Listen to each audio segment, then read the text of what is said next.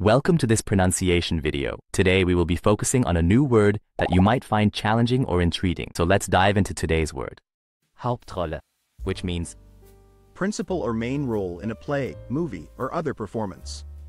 Let's say it all together. Hauptrolle. Hauptrolle.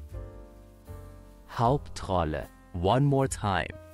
Hauptrolle. Hauptrolle.